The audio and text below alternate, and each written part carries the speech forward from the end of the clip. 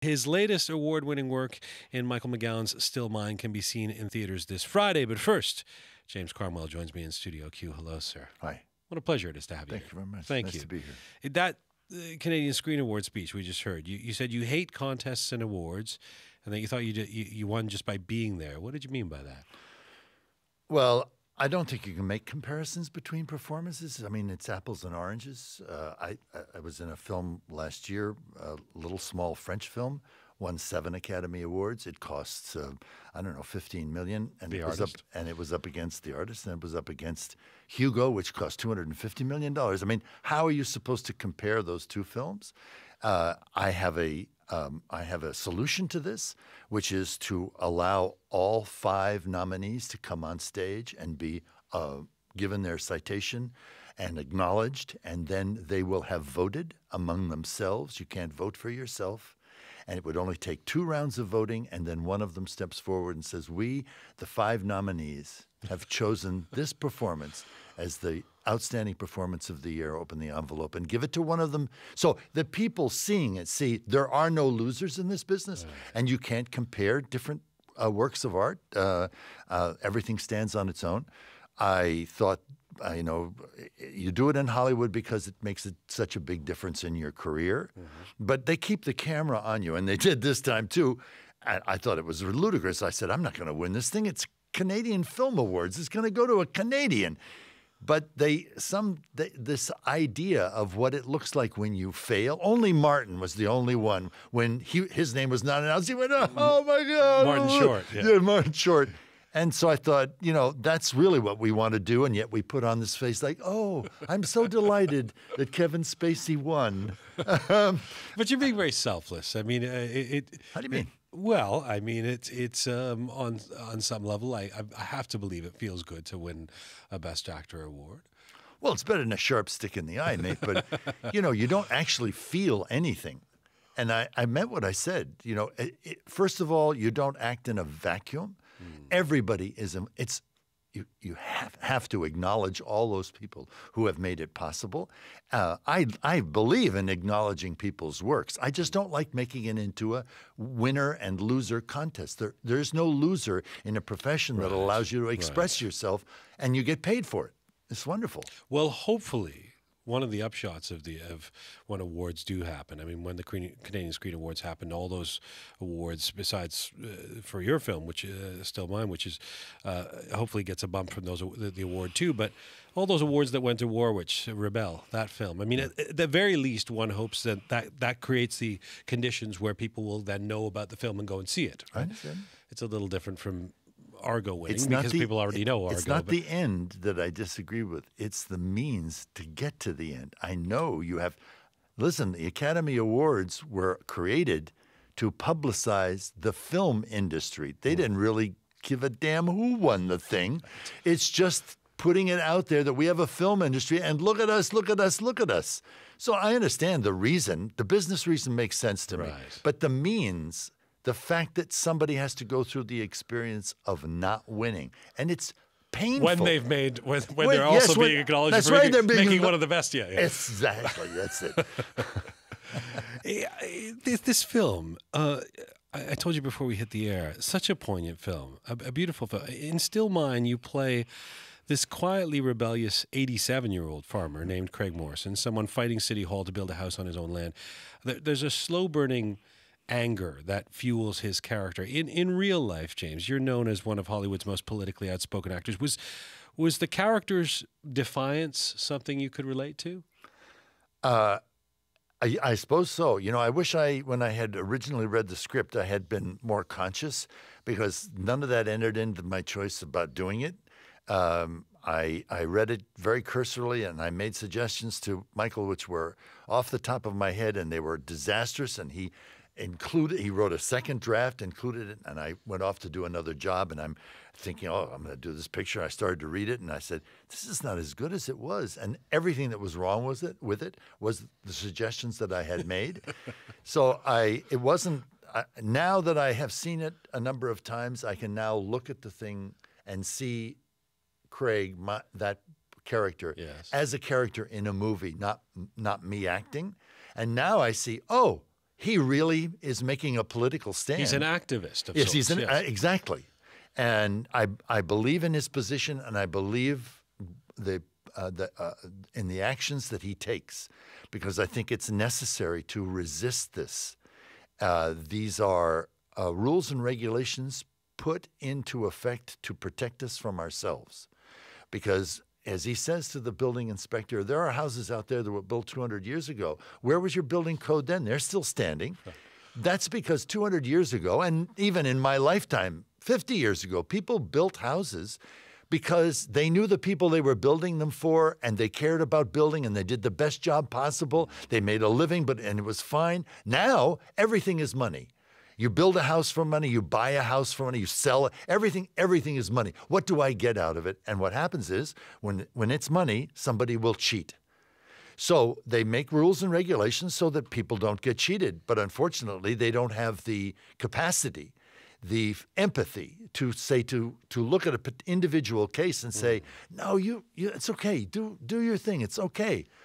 And we need a, the paradigm shift that is coming has got to include an awareness and sensitivity to what it is that is necessary for another person to live out their dreams. Okay, hang on a second. I want to come back to that, but Yeah. uh, two steps back. Yeah. You said you read the script cursorily. Yeah.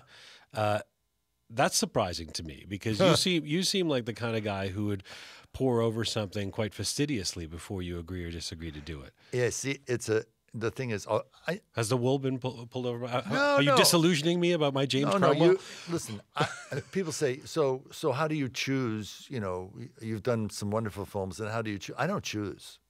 This this is it's all written. You understand what I'm saying? no. You It's- mean like Tevye says in Fiddler on the That- Roof? It's, written. It's all written. It's all written. The- This is not by happenstance. Things come when they're supposed to come. If you resist and you miss it, that's okay. You didn't learn that lesson. You'll have to learn it again some other time. And the opportunities. That's why. so where is it written in your instincts? No, it's it's it's written wherever it's written. But you have to say yes. You you say yes. Bec- something something catches your fancy. For me, it was I loved the way Michael responded. He took my original suggestions and I sort of blew it off. Then when I had to convince, I didn't have to convince him. He knew, but I had to say to him, "What you wrote was perfect, and I made a mistake. Let's go back to the way it was." Hmm. We talked for two hours on the phone, and it wasn't. He didn't gloat. He didn't make me wrong. He didn't. You know, he listened. He had arguments we talked back and forth, and I realized, oh, this is a guy that I can have a collaboration. That's what you want as an artist. You want a collaborative event where both of you participate. It's his vision. What you see is Michael's. I support Michael's vision in my work, but I want to do it with a certain amount of belief and authenticity and verisimilitude so that I have uh, I have a respect for the work that I've done, and Michael created that um, in his crew, in his writing, in his direction. So you, I'm guessing that you've often, or at least on many occasions, said no to, to some projects. I've said no to, as I say, you know, people. I, What- I don't, choo- I don't choose them. They they choose me, and and they've and wonderful ones have chosen me. I should have said no to a number of films. Eraser was one of them. Uh, but Come on, that's an iconic. that's a classic. It is. I mean, for some of us, it's, it's of our generation. so. Uh, uh, this character. So in real life, you're you're in your early seventies. Uh, you're a lot younger than eighty-seven years old. Yeah. The character you play in the film, but the film is is very much. Uh, is kind of a meditation on aging Mm-hmm. and and we don't think of an 87 year old as someone who can build a home with his own hands the way this guy does let alone run their farm um, were you out to break age stereotypes with this role? Do you do you see that as part of what this film is is is meditating upon? Oh, it's really nice. Uh, You know, as you as, as you get the age, even at the very young age of seventy three, as a man, you haven't experienced this yet. You disappear. You really you go into the woodwork. Mainly, if you're as attracted to women as I am, it's they no longer see you. You're you're you're not there, and you're not really unless. I'm, I'm lucky with the, what I, the work that I do, but if you're if, if You're also hundred feet tall. and I, yeah that all that helps. So Hard to imagine you disappearing anywhere. so but- well, there's but I still have that sense, you know, the sense when you walk down the streets of New York and no, uh, if nobody knows you, you just you just disappear. And when did you start feeling that? Um, geez, I don't know. In my 60s, I guess, you know, as it went on, I had it younger when I used to be in New York. No one knew who I was. And I would carry my beautiful son on my shoulders. And a very attractive lady would come down. I know, I don't mean I have a kid on my shoulders. I'm not going to do anything.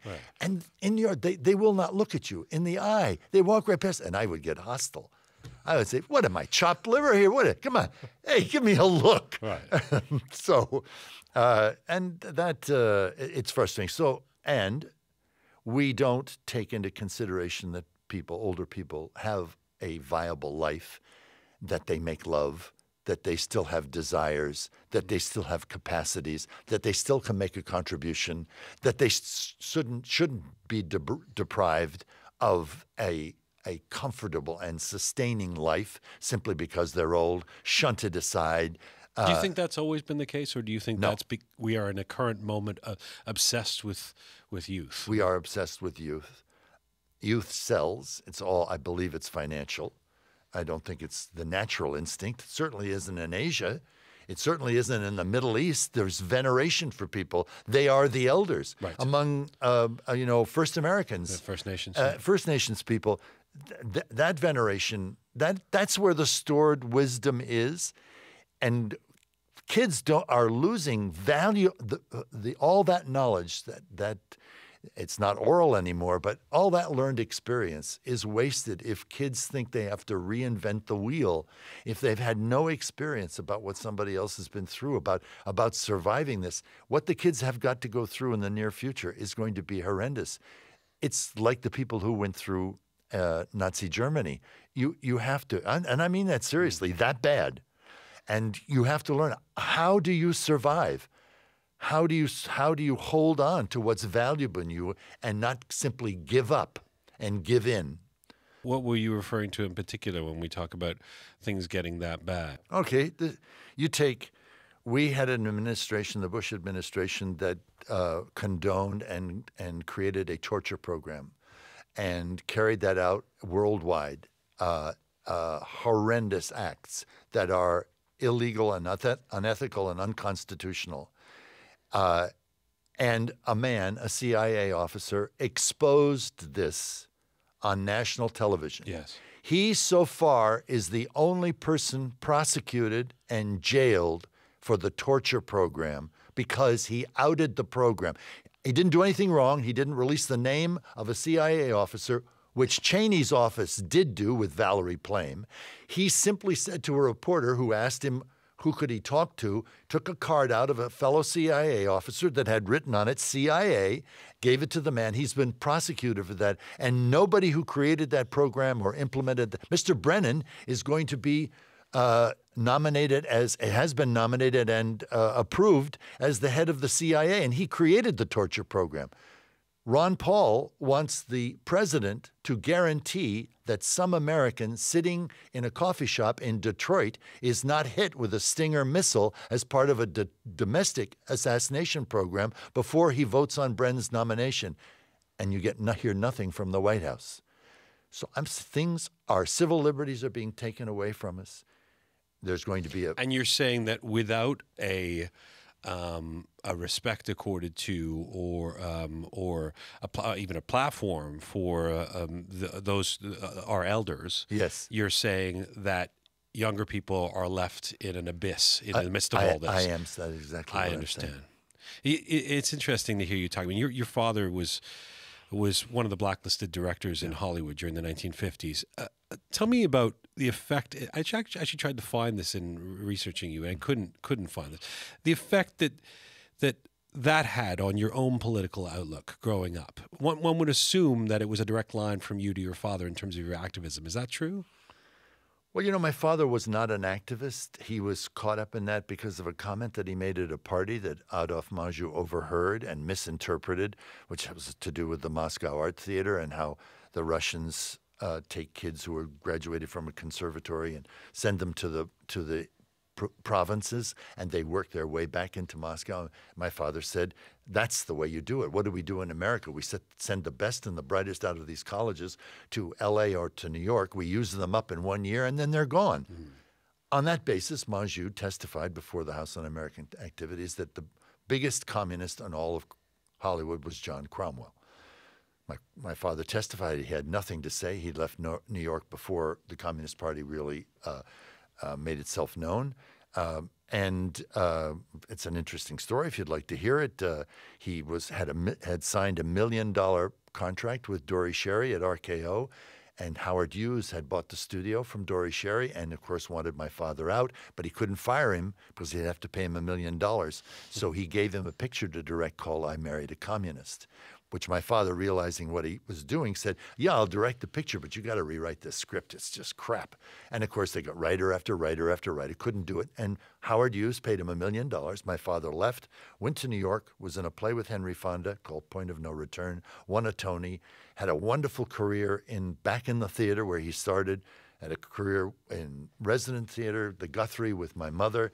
So but where does young me, James Cromwell well, fit into all this? I'm so I'm a kid. It's 53. I'm 13. Mm-hmm. He comes to New York. I finally he's near me now because my father and mother were divorced, so I was in the East Coast. I begin to see him work. I see a working actor, elegant, uh, uh, successful, happily married, living in New York, having a life. I don't think anything about it. I'm going to be a mechanical engineer, design sports cars. He takes me to uh, Sweden where he's directing a film. I look at these wonderful women, you know, uh, uh, Eva Dahlbeck, Maj-Britt Nilsson, my father creating this thing. And I think, oh, yeah, I'm going to do that.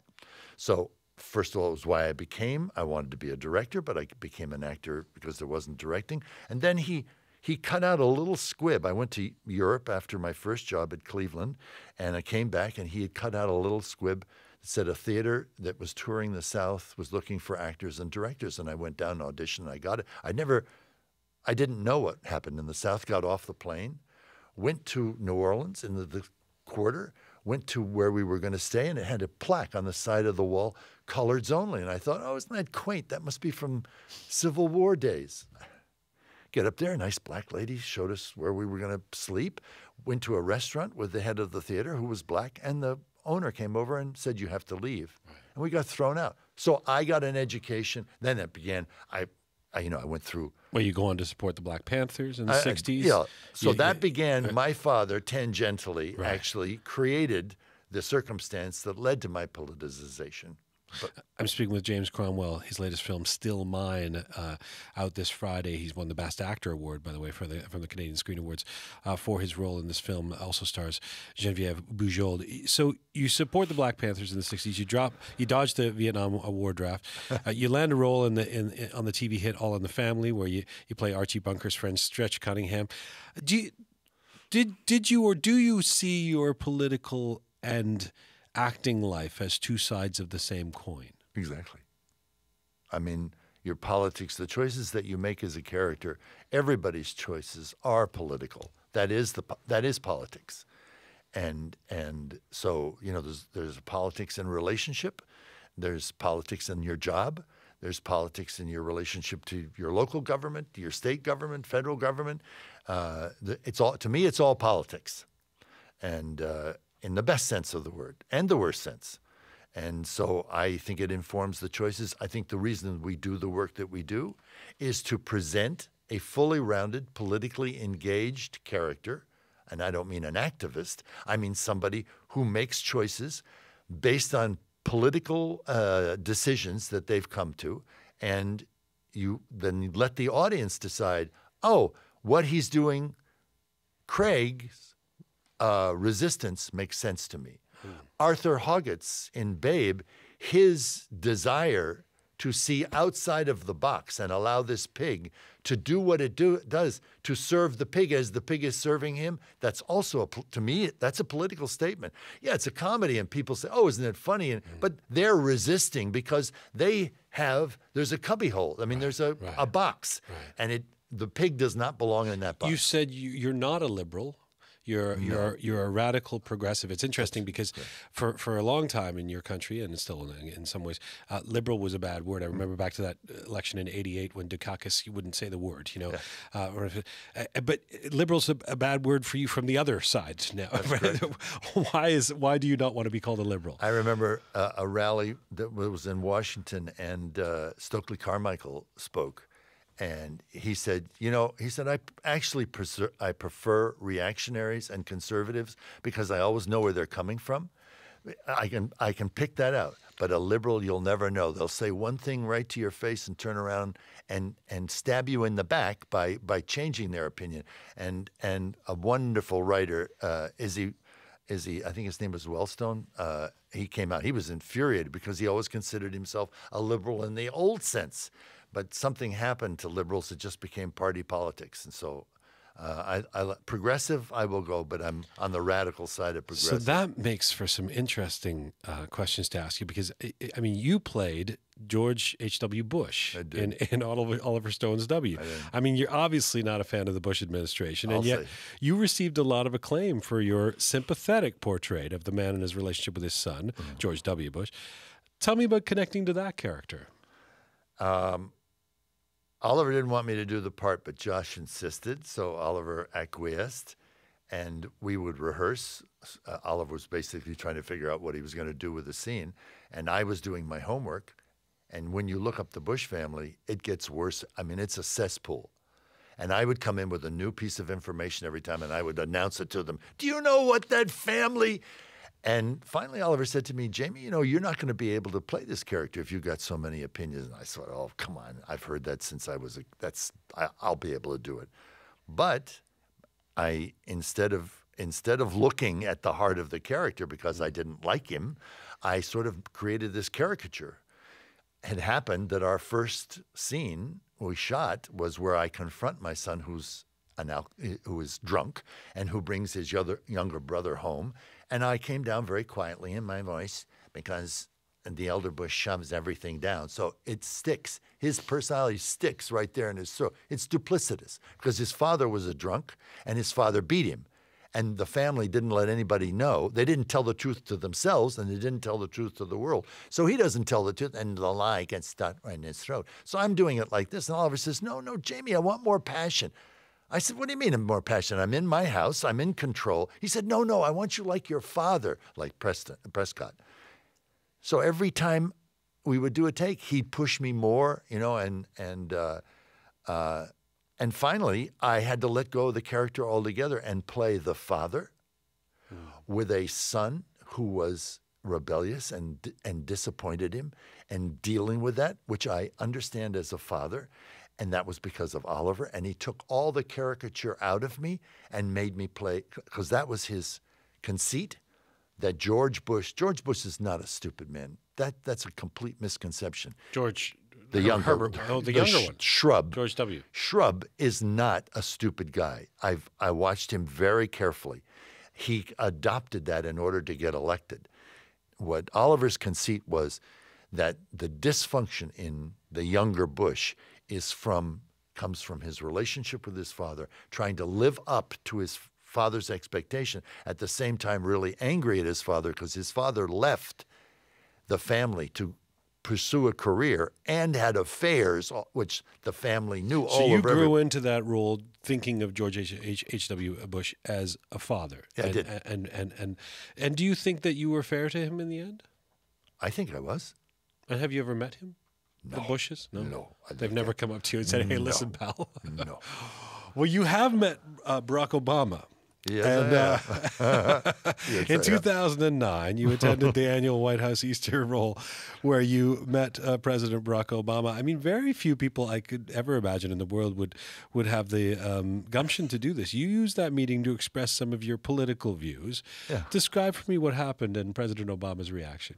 I had a letter uh, that was written to a friend of mine, um, Mike Farrell of MASH, and uh, it was from Governor Ryan's wife to Obama because Obama, well, well, he was running for president, had come to a fundraiser in Illinois, and Mike had been at a table with Mrs. Mrs. Ryan, whose husband, who had been governor, had been put in jail for embezzlement of a very small amount of money for 10 years. He was going, either he was going to die in prison or she was going to die while he was in prison. And so Obama said to Mrs. Ryan, It's really unfortunate that this happened, and I will do everything I can to rectify this and get a compassionate leave. He came back after the event and said the same thing again, and nothing happened. So Mrs. Ryan said to Mike, if, if Jamie is going, would he take the letter. And I was delighted to do it. And I told him this. I handed him a letter. I mean, the expression, his face went absolutely. This is President Obama. The president. Where are you when you hand this to him? I'm in the white. I'm in the White House in the in the yellow reception and there's room. been dinner or something, or, or no, no, no, no, no. We're we're going to we're going to uh, he and I and Michelle and other people. I'm going to read stories. Some people are doing other things. Right. Um, uh, Bob Marley's son is there. He's going to do some things. Okay. And so we're presented and I'm with my lady. She's talking to Michelle. So I hand him the letter. It, it I tell you, he didn't even blink. It went right past him right to some aide. That went right into the shredder. Mm. Then I went to Michelle and I complimented her on her organic garden. And I had a copy of a f- documentary called The Garden, which was a wonderful thing that 327 Hispanic people built on 14 acres in downtown Los Angeles, which was bulldozed. And I said, Congratulations on your garden. Listen, this is a documentary about what happens when people of color try to do the same thing you did in the White House and her face dropped, and whoop, that went that went away. I, I don't know what happened. You know, what did the president say to you when you gave him the letter? He said nothing, nothing, nada. Like, oh yes, I'll take it. Oh, that's interesting. Yes, I know, I know Governor Ryan. And did he remember the event? No, did, I, I think promising the no. No, he, he didn't remember it any more than he remembered all the promises he made to the American people while he was running for election. Well, and you've said everything Obama promised, from Guantanamo to withdrawing from Iraq, he hasn't delivered. They're not going to move out of Iraq. Not a chance in hell. We got suckered. Well, the U.S. is no longer in Iraq. He, Who says? Well, I mean, they, they, they, he's he's oh, just, pledged to to just, leave Iraq. Just we don't know. Do we know anything about the bases that are left in Iraq? Do we know? We know there are no American soldiers do we know what? And listen, if we left, that's really wonderful. And look at it, what's happening in Afghanistan. Are we going to leave Afghanistan?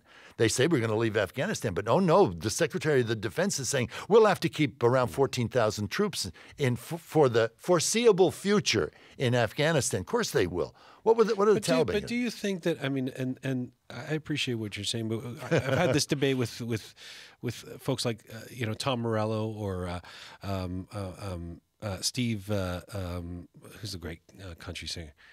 Steve Earle, Steve mm. with Tom Morello or Steve Earle, who come in here and, and and and we talk about what you do when you're a progressive activist like you, mm-hmm. and you have a liberal, uh, well, somebody who purports to be a liberal huh. in the White House. Mm-hmm. I mean, when you heard that State of the Union speech, yeah.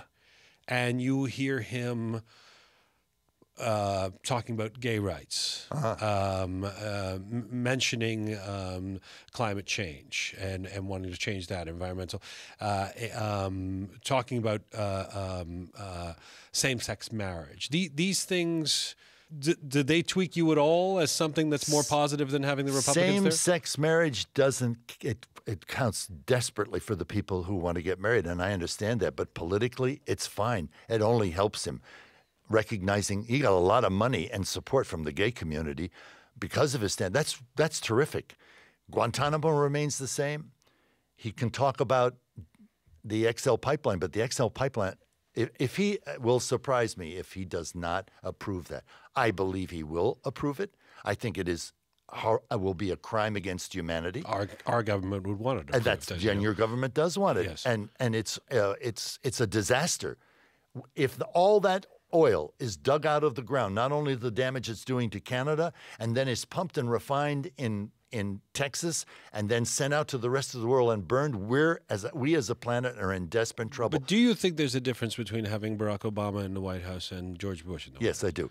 The difference is that you knew what you got with George Bush, and a million of us went out in the street to try to stop that war. Did we stop the war? No, but that's not the way it happens. Gloria Steinem said it takes a it takes a hundred years. These movements, the women's movement, takes a hundred years. Of course, we might have another hundred years of war would be untenable. The difference is that Obama's election puts everybody to sleep. Breeds quiescence. That's exactly, exactly. 50,000 of us just went out to demonstrate against the pipeline and marched in front of the White House. And where was Obama? He was in Florida playing golf with the very people who are putting in the pipeline. Do you think he was listening? No, he's not listening to 50,000 people dropping the bucket.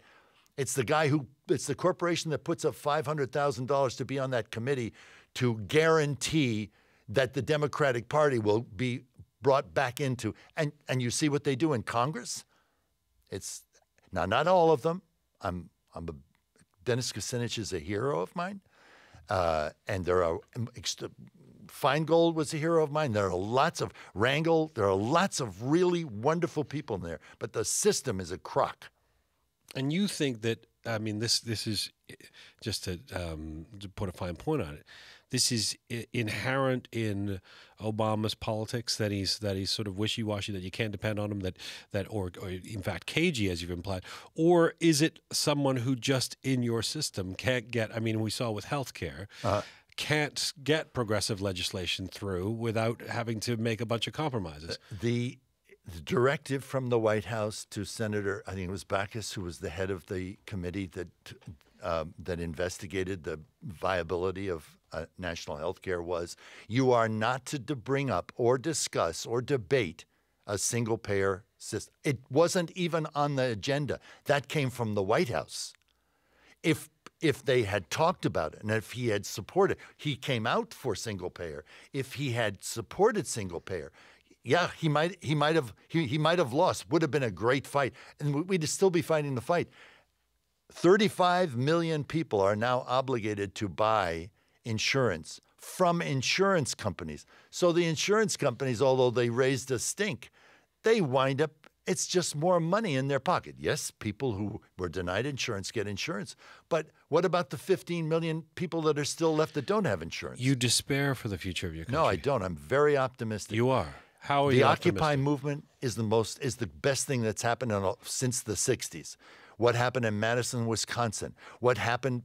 It, there are people. I just heard a thing about this conference about talking about the internet and access to the internet, being able to open your phone up and change the SIM, which they do in, in Europe, which is five years in prison and a five hundred thousand dollar fine in the United States. He's he's supposedly going to. You feel like it's bubbling under that there's that people want to change and the and and the, the can is going to kick back, and I don't mean that terrible guy who's trying to get rid of Social Security, but people are going to stand up. It's the whole system is fracturing. It doesn't have to be this way. We need a leader. He could be a leader if he wanted to be a leader. We want him to be a leader. Bless his heart. I, I hope he I hope he has a a change of heart.